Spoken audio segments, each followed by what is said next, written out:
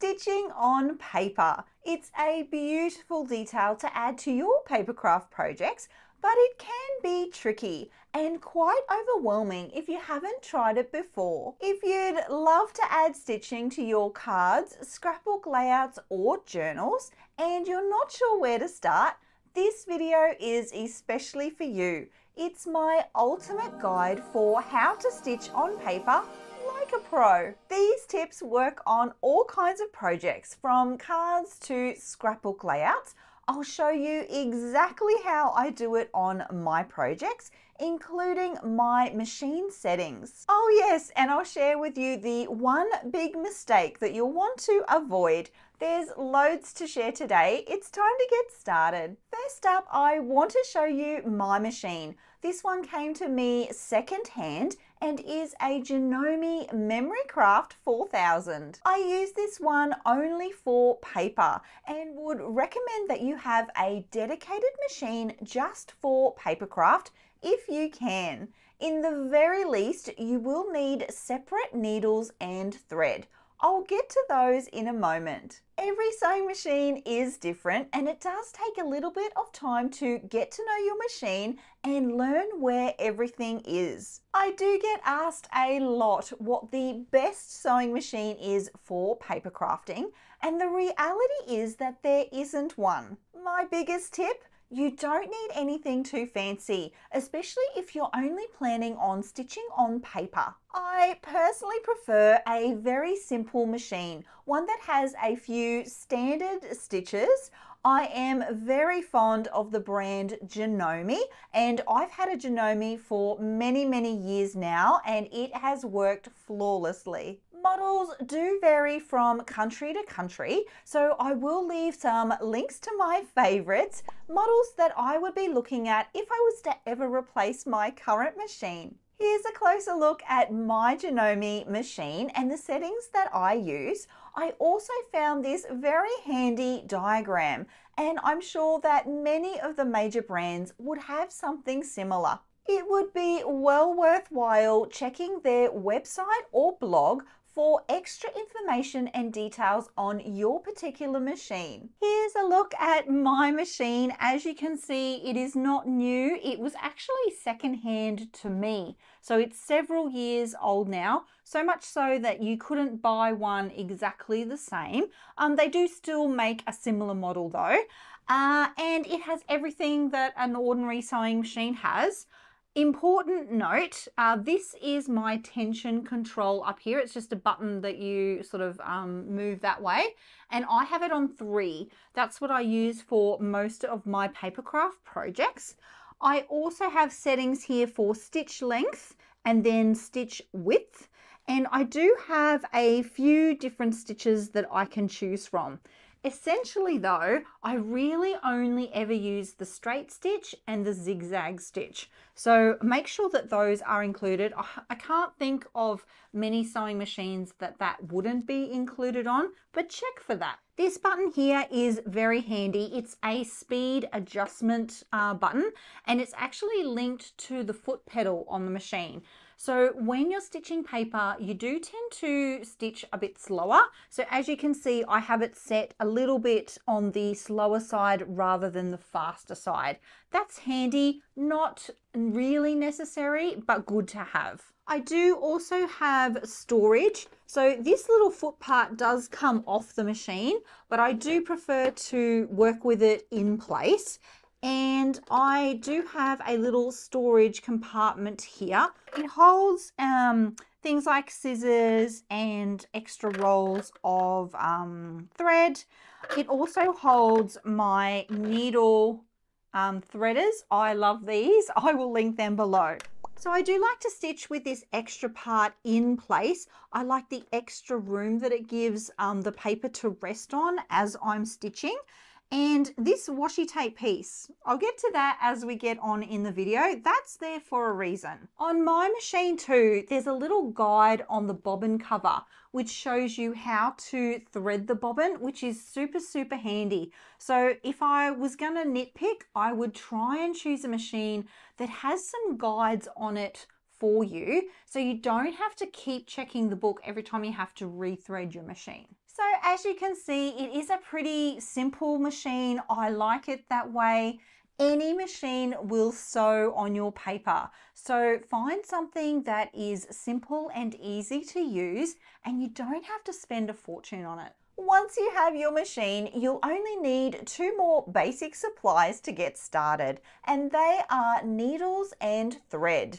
I'll be sure to link the ones I use below because I think this is what makes all the difference. You really could use any sewing machine, but you do need the right needle and thread to get a similar look to mine. And here's exactly what I use. This is my most favorite thread. It is much thicker than regular thread and it's most commonly used for stitching jeans. It's called Top Stitch thread and it's by a brand called Gutermann. Gutermann. Gutermann. It is a little more expensive than regular thread, but it is stronger and thicker and it's that thickness that adds this beautiful quality to your stitch projects. It's the thickness that makes the difference. I do only use this thread in the top section of my machine. For the bobbin, I'll go with a plain regular cotton thread.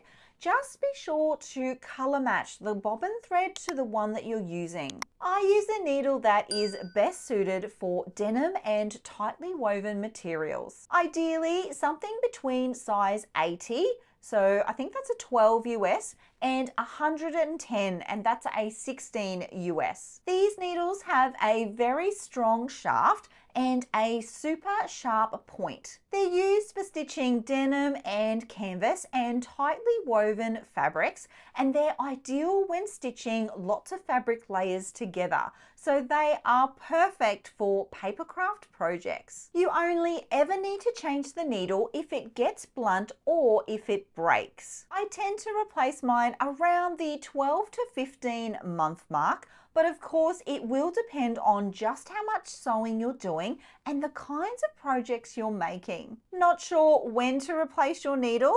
As soon as it becomes dull. A dull needle will make a dull sound as it is stitching through the paper almost like a knocking. You can also check your needle under a magnifying glass or place it against your finger to test how sharp it is. Just be careful when doing that. The needles that I currently have in my machine are these ones here. They are a number 100 or US 16. To make sure the needle fits your machine, you are best going with a branded version. So if you have a Janome machine, buy the Janome needles. There are universal needles on the market as well, but be sure to check your warranty, especially if your machine is new, because using a universal branded product may void it. It is super important to match your needle to your thread, which is why I've recommended this type with the thread that I'm using. I know this is a lot of information all in one video, so I would recommend you clicking the three little dots down on the right there and then choosing save that way you can reference this video later. I get asked a lot what the difference is between stitching on paper and stitching on fabric. And I think the answer might surprise you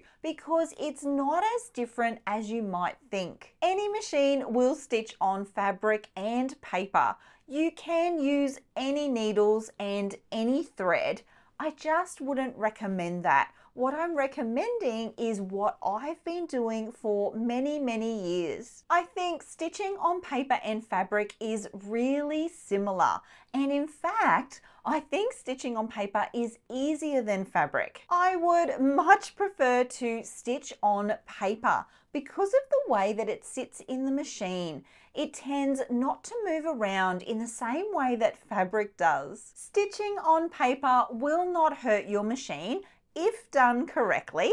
There are a few things to keep in mind though, so here are my top tips. Tip number one is to plan your stitching path. You do need to think about the direction of your stitches, especially when working with a 12 by 12 layout.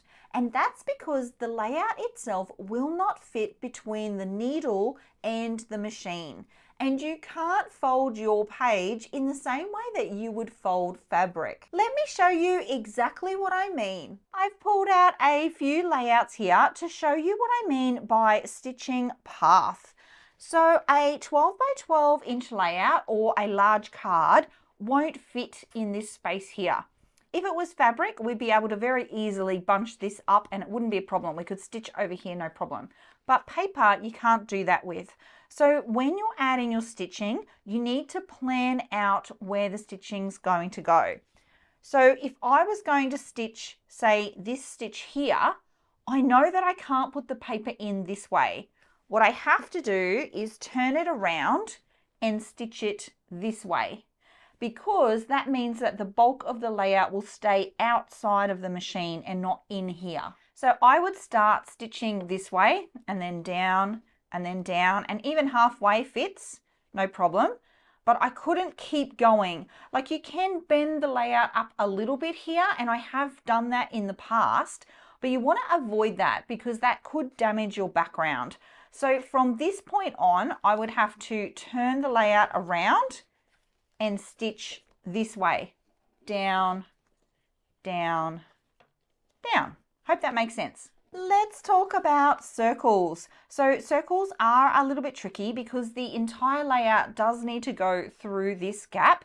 The best way I have found to do it is to fold up the edge just a little bit. So when you're working around this way, when you get to here, I do need to fold this edge up just a little bit. Try not to bend it, try to just wrap it around and then around I go. And same with here, it needs going up a little bit more. And this is what you need to think about when you're planning your stitching circle, or sorry, even any stitching path, not just circles. You need to make sure that what you want to do is able to be done within the space here.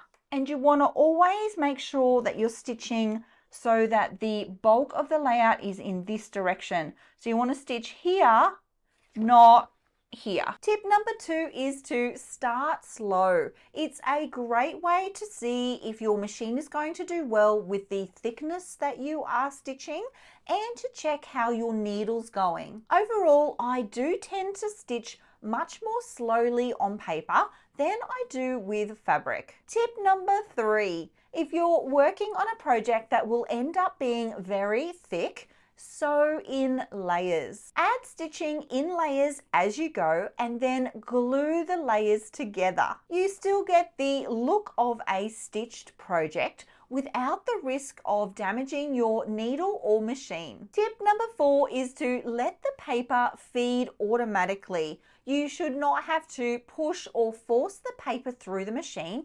It should feed through all by itself. Creating a straight stitch should need very little input from you. Let the machine do the work for you. Tip number five, when stitching on fabric, the guides on your machine are very easy to use and see. But quite often, when you change to stitching on paper, those guides are covered up. That's where the washi tape that I mentioned earlier comes in handy. Add a strip anywhere along the arm of the sewing machine and you now have a guide for your paper. If you want to create very straight lines on your projects, this tip is a must try. Let me show you how it works. Let's talk about this washi tape strip here. If I was stitching the edge of my paper, I have a guide. So it's very easy for me to keep the paper straight. If, however, I wanted to create a straight line, say here, here, I can't see the guide. But what I do have now with this washi tape that I placed is I've got my own guide that I've now created that extends this way onto the machine.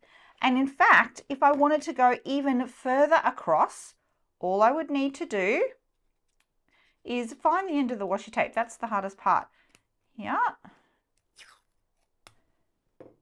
I try and line it up with a line that I know is square, like this must be square, right? And then I'll just place it there like that. And now I have a guide here for my line. You don't always need this if your pattern paper has a print on it. Sometimes you can use the print as a guide, but if you're working with plain cardstock, you need something to line up the edge of your paper with to create a straight line. So all I do is position the paper where I want to start. Actually, let's use this one so I'm not using up so much paper. Again, I put the needle down and then you just stitch like so all the way along and all I'm doing is lining up that paper with this line here. And then when I'm done, I can pull that out,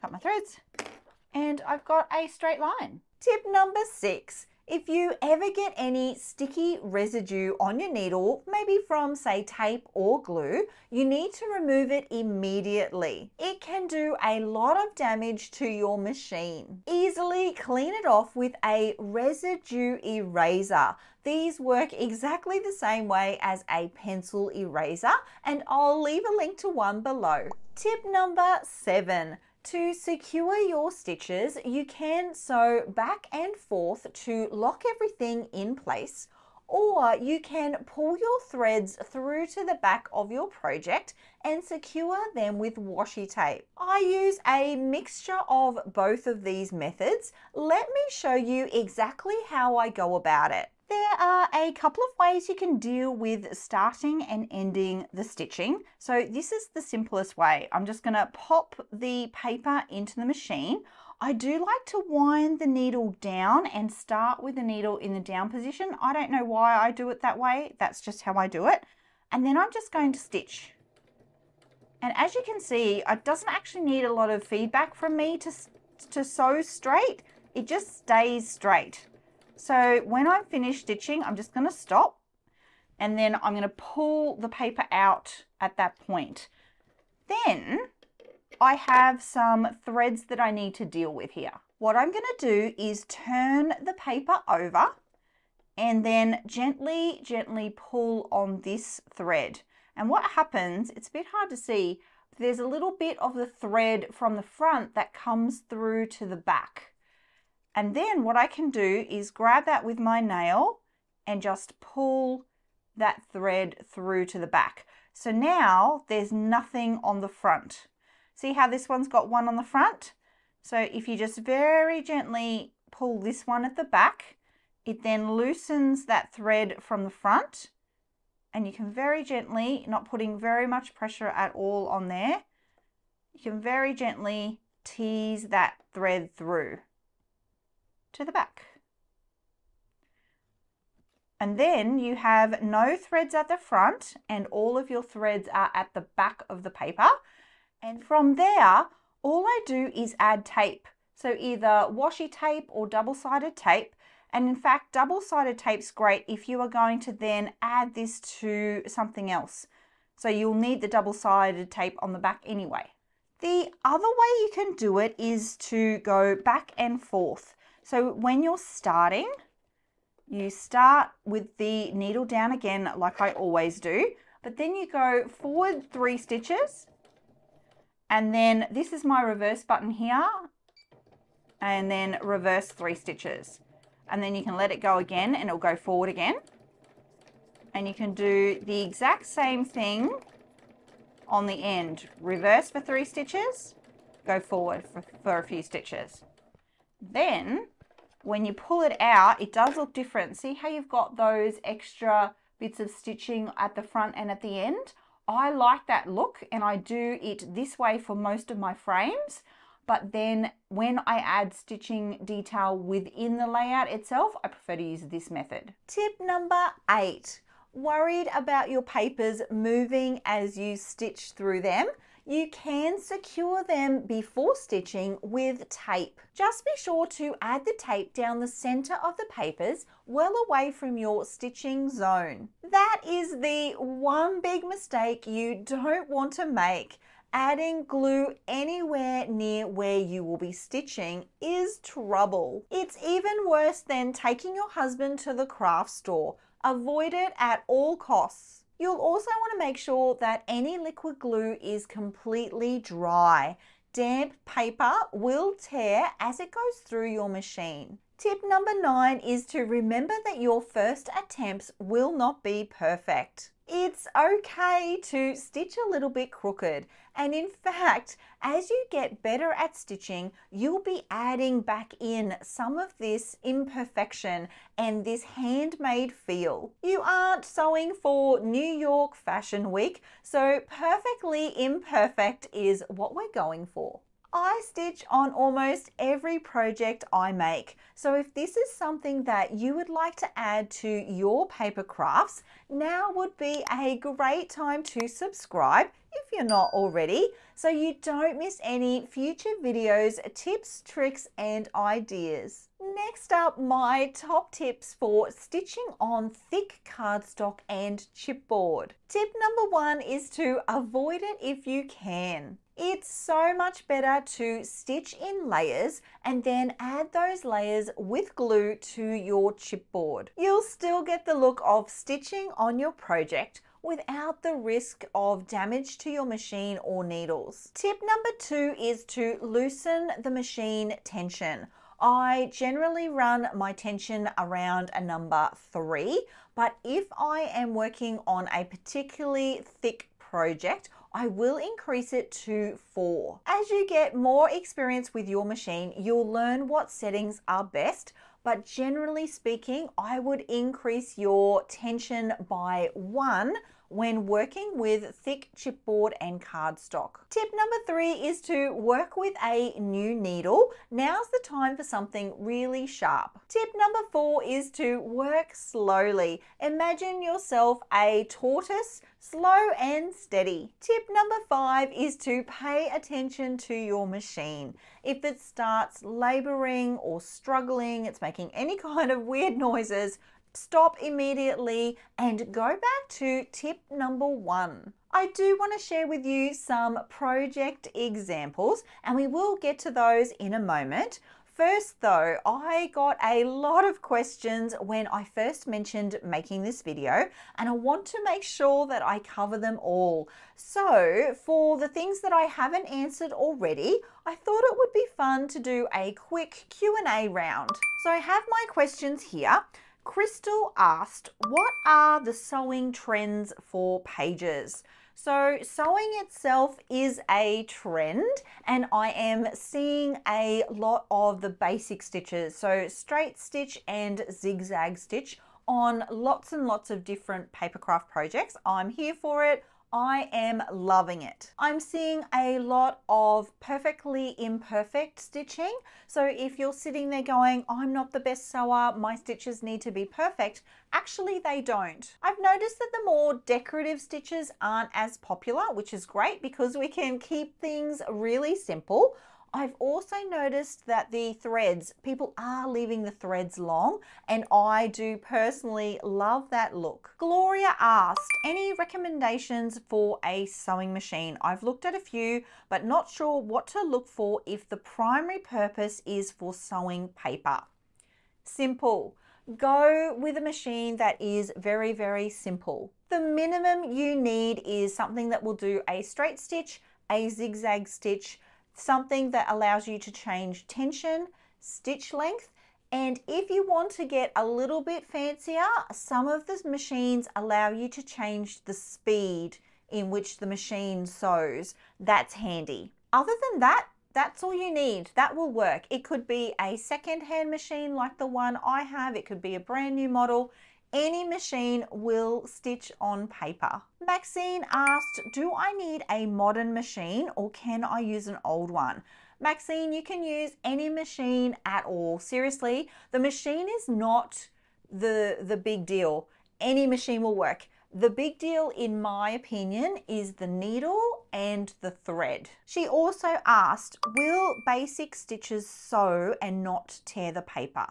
So yes, so basic stitches can tear the paper if you have your settings, if the stitches are set very close together. So you do want to set a straight stitch that's a medium to a longer length because essentially the needle punching through the paper is like creating a perforation. So when that perforation is really close together, if your stitch is really, really short, the risk of the paper tearing is greater. So go with a medium to longer straight stitch. Jamie asked how to keep your paper needles stored and separate. So yes, I have two storage places for my sewing things. One is within my machine, which I showed you earlier. That's for all the things I use every single time I sew. I do also have a sewing box and that's where I have like my extra thread and my needles. I know which needles are for which. So what I, but if you don't, that's that's fine. Um, what I would recommend is maybe just getting a Dymo label up and label them paper. Um, even just something as simple as that, or keep your paper needles in a separate section within your sewing kit and label that section paper supplies. Um, you will get to learn and you will get to know, I promise. Sandy asks how to use metallic thread and if using metallic thread, what thread to put in the bobbin. Okay, so metallic thread is a little bit tricky. I would not recommend it if you are brand new to stitching on paper. Save that for another day. If you've got a little bit of experience with regular thread and you want to try metallic, there's a couple of things that you really do need to keep in mind. Metallic thread doesn't behave in the same way that regular thread does.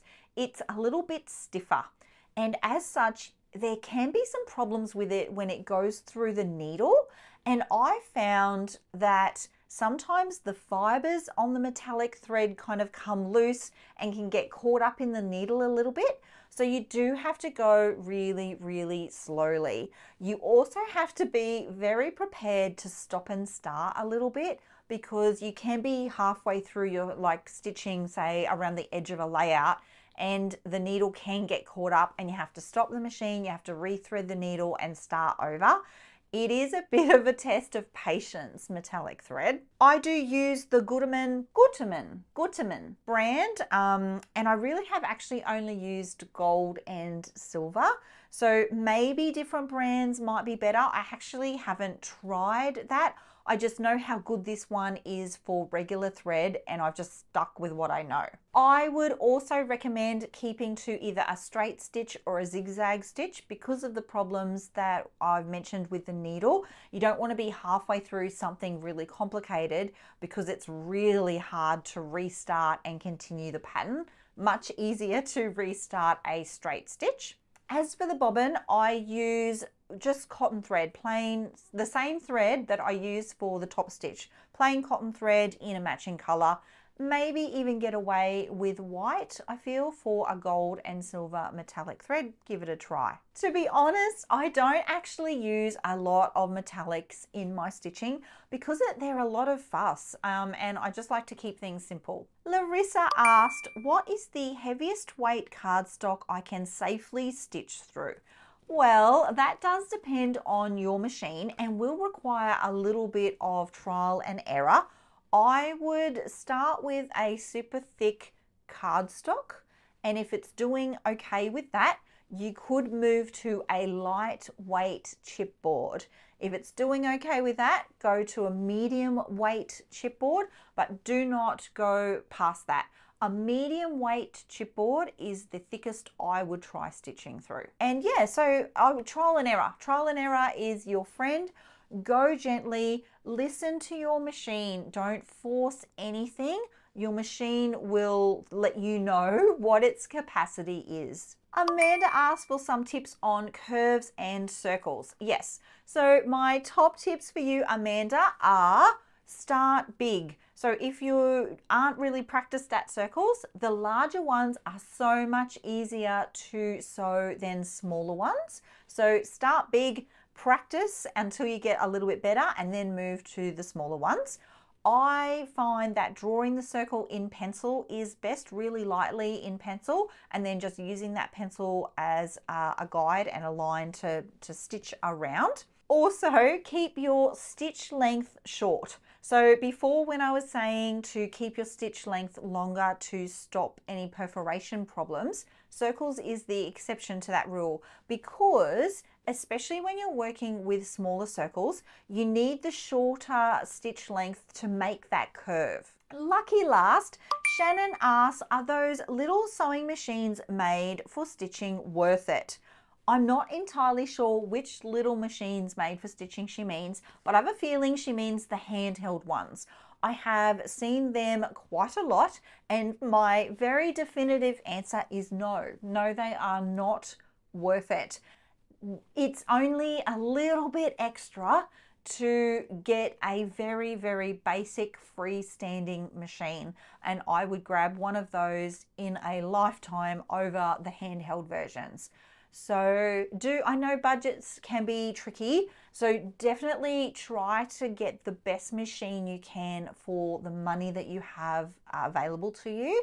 Um, and yeah, any of those little handy dandy dinky little machines, no, just even if it means you have to wait another six months or, or more to get a proper machine, it's well worth the wait. Okay, so that's all the technical things covered. I've answered all the questions that I had. I think it's now time for me to show you some examples, some of my favorite stitched projects. So most of these examples will have a stitched border. I do this an awful lot for my pages. I really love the look of that. So I won't be mentioning that every time. I'll just be showing you the extra stitching details that I've included. And for this layout, it's these border strips. So this is a cut file and I have just added a single line of stitching along the top edge of each of the banner pieces. This is very, very simple to do because it's just one straight line. I've also added stitching to my photo for this page and I do that a lot as well. Uh, again, it's just a detail that I love. I love the extra texture that that stitched element adds. And I feel like it ties the page together when you have the stitched border, the stitched photo, and then another element of stitching. This layout is very similar.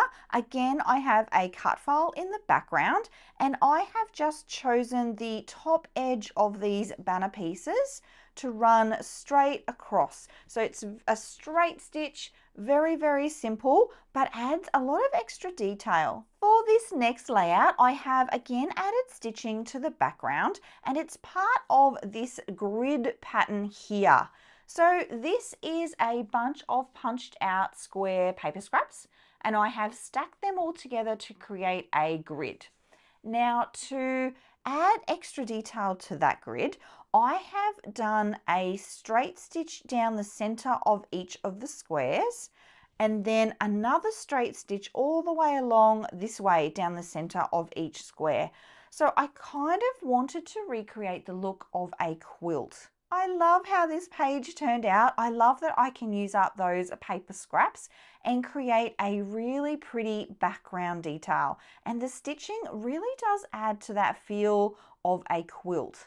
For this next layout, I wanted to share with you a technique for adding acetate to your page. I've used my stitches to do that and it's a great way to do it because you don't have to worry about the glue showing through. You're actually avoiding glue altogether. So I've got the stitches running right through the acetate pieces and here you can see the stitches actually go through this puffy sticker. I actually really, really love the look of that. It's going through the puffy sticker here as well. And it's just, it just adds such a beautiful texture. So if you ever need to add acetate to your page, stitching's a really good way to do it. For this layout, I have added my stitching on my photos and that was pre-planned. I did not plan, however, to add the stitching to these other elements. So it needed to be added after the page was assembled. And you can do that. You'll see that the stitching ends here.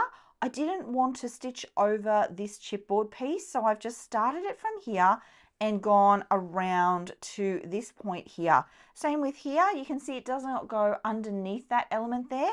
It's because it was added after all of these pieces were in place. So if you want to add stitching to an existing project, you can.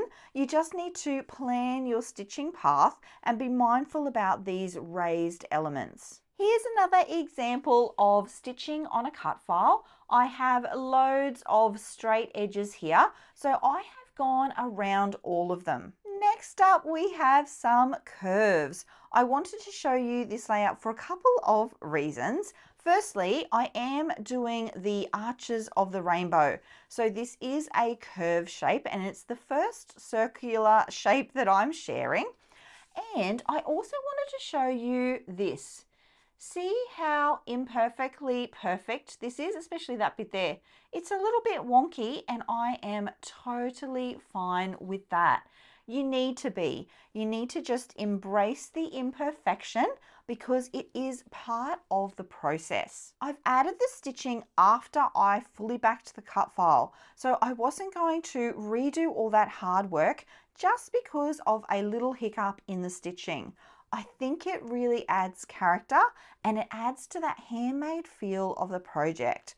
This is not assembled by a machine, it's assembled by an imperfect person. Here's another quick example of circles, but I have actually avoided the whole circular element altogether. These circles are quite small and they would be quite tricky to stitch around.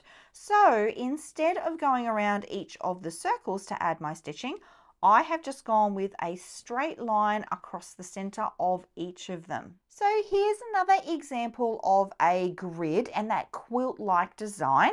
This one is a little different because the squares are larger and they do have spaces in between them. I've arranged them more like a grid and I've added them flat to the background of the page. I've then gone ahead and added that stitched detail. I really feel like in this case, because it's got those spaces there, it helps it all feel more put together and it kind of creates more of the look of a solid piece of paper because they are all joined without having to be joined. Some more textural elements that I've added into the background. So I do have the stitched line that runs all the way through each of the pattern paper strips here. So what I've done here is enhance the print of the pattern paper that's already there. And that's a really lovely way to add stitch detail. If you're not sure where to add your stitching, let your pattern paper be a guide. For this layout, I let the cut file be my guide and I've added the lines within the constraints of the cut file design. Again, they're just straight lines, very, very simple to do, but they do add an extra element to your page. Each section has a stitched line that is part of it, and I have stopped the stitching to keep it within the lines of the cut file. For this layout, I've used the stitching to enhance my stenciling. So this is a sunburst stencil in the background of my layout and in between each sunburst, I've added a stitched line. So again, I'm working with what I have. It's a similar idea to the past two pages using the pattern paper or using the cut file, or in this case, using the mask to help you identify where you should add your stitching. I love the extra detail that the stitching adds to the background of this layout, and I feel like it helps to clarify the design of the stencil. I feel like it makes the stencil design a little bit clearer. Here's another example of a circle. For this one, I drew the circle in pencil onto my background first. Then I added my stitching. And can you see my little secret trick here? Because my circle was not perfect, I actually kept going. And I've gone around the circle maybe three times and I have then purposefully made it a little bit wonky in sections. So I've tried to keep it as neat as possible, but where I did go a little bit wonky, I've added more wonkiness to it to make it look like it's there on purpose. You can see down the side here too, I've done some strips of pattern paper and then added stitching just to the top of those pieces. So these pieces actually can lift up creates a beautiful texture. Circles are tricky, so they do need a little bit more practice than your straight lines. Here's a similar idea, but using straight lines. For this layout, I actually created this square in the background first. And then used this square element and mirrored it with my chipboard frames. So that's a really nice idea too. And this page would be easier to create than the circle one. I have to include a background shaker in my examples. This is a page that has sequins all in the background here. I don't know whether you can see them there. And to create the pocket, I've used stitching around the edge. I've also added stitching on this one to secure my puffy sticker title. I really love the look of that. So you can create shaker pockets for your projects with a stitched edge. It's one of the most fun ways to create a shaker pocket and I do this all the time. Here's another shaker pocket, but this one is actually secured inside the confines of the cut file. I've cut it out really, really large and then sectioned it off with some vellum and the stitching and secured the gold sequins inside each section. Really, really fun page to put together. And this stitching detail is again just going around these edge elements. Here's some more perfectly imperfect stitching. If you look at my pages and think that my stitching is always perfect, I'm here to tell you it is not. This is the last layout I want to share with you. Next up, we'll get to some mini albums. I needed to include this one though because it has a fully stitched background. Every line on this page is stitched. It is a cut file and I wanted it to look almost like ice because uh, we are in Canada on a family holiday way back then and it's a really special photo and I wanted to go a little bit extra for the layout. So I did take the time to add stitching to the entire background. It took such a long time, but I really, really love how that page turned out. Here's a quick look at some mini albums that I've made, and I have included a lot of stitching. You can see all the stitching there. They all have so much stitching in them, and I think that just makes them they're just super, super pretty. So I did stitch around the entire um, cover. So this is on like a um, film, a plastic film that you would put in an overhead projector. And then I've added the paper layer on top and stitched around each section. I've also added stitching to secure the closure here and then a bunch of stitched elements within each mini album. So there's lots of um, fabric and paper stitching that I've added here and I, I just I feel like it makes it I don't feel like these albums would look nearly as amazing if they didn't have all of this stitching texture and extra elements. The key thing here is that I have done all of this stitching in layers.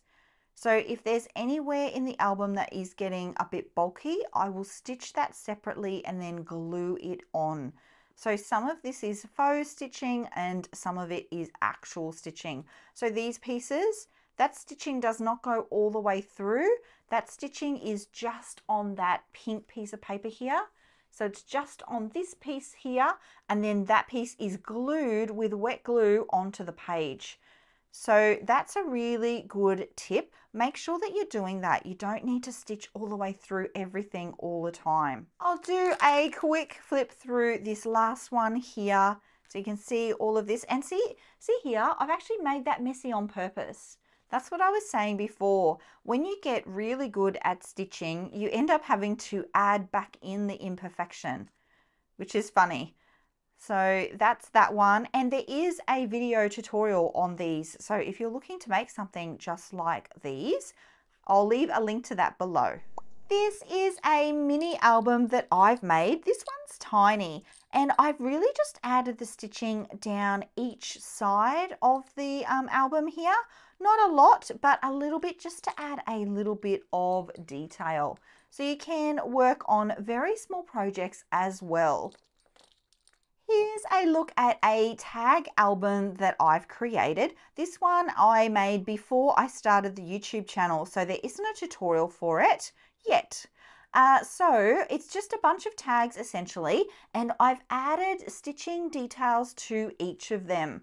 This one is a little pocket, so it's all secured along the edges with that stitching. I then have some crepe paper elements that has the stitching added down the end, another little pocket for the photo and some sequins in the back of that one. As we go on into the album, the pages get a little bit bigger, but the principle stays the same. So it's a little plastic pocket with my photo and then shaker elements on the back. This is a little fold out section. So it folds out and I've actually stitched this in place. So you can see the stitching there. And then there's a bunch of photos from our trip. This is our trip to Disneyland with my daughter.